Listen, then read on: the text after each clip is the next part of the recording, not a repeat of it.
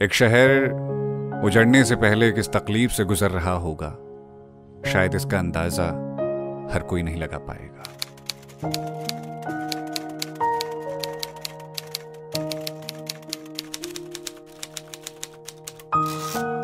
जनवरी की दस तारीख हो चुकी है।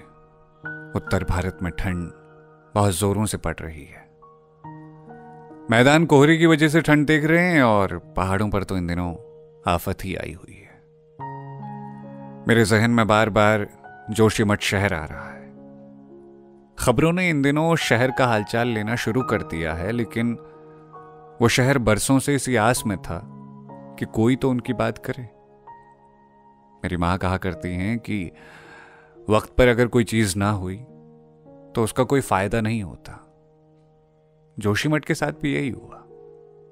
मीनाक्षी के चैनल पर एक वीडियो देख रहा था मैं। एक बच्ची कह रही थी कि उसके पिताजी और उसने इस घर को बनाने के लिए कंधे पर रेता बजरी उठाया ताकि मजदूरी देने में पैसे खर्च ना करने पड़े। इस बात को ना सिर्फ़ वही इंसान समझ सकता है जिसने खुद के घर को बनाने में अपनी ज़िंदगी लगा दी हो। मुझे बात उस दिन से खाई जा रही है कि वो लोग अब कहाँ जाएँगे? जिस जगह उनकी व्यवस्था करवाई जाएगी, क्या वो जगह उनके लिए वो अहमियत रखेगी? जो इस घर में थी। जाने कितनी बार अपने शौक छोड़े होंगे। जाने कितनी बार अपनी इच्छाएँ दबाई होंगी।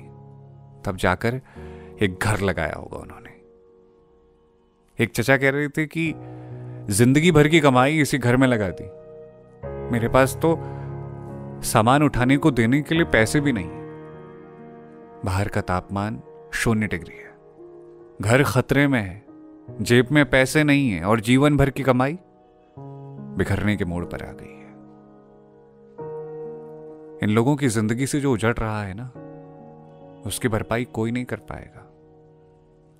देवताओं के थान में अब भी दिए जले हुए हैं। एक उम्मीद अब भी बाकी है। पहाड़ खा जाने वाले आदमों को बड़ी बड़ी कंपनियों को शायद इस बात से कोई फ़र्क नहीं पड़ेगा। लेकिन देवभूमि के देवता इंसाफ करेंगे। कम से कम उनके दरबार में तो इतनी नाइंसाफी नहीं होनी चाहिए ना? हे बद्री विशाल, अपने भक्तों की रक्षा करना और प्रकृति के दुश्मन बनते लोगों को सद्बुद्धि देना। तो जोशीमठ के लिए हम अपनी तरफ़ से कुछ अगर कर सकते हैं तो उनकी आवाज़ बन सकते हैं, उनका साथ दे सकते हैं। मैं अपनी तरफ़ से कुछ वीडियोस बना रहा हूँ, आप भी सोशल मीडिया पर लिखिए। अगर कोई जोशी मठ का जानने वाला है तो उसे फ़ोन कीजिए, वहाँ के हालात पूछिए। और इस मुश्किल वक्त में जितना साथ दे सकते हैं, उनका साथ दीजिए। क्योंकि कहते हैं, जो दुख के वक्त साथ दे, वो हमेशा याद रह जाता है। शुक्रिया। बहुत बहुत धन्यवाद।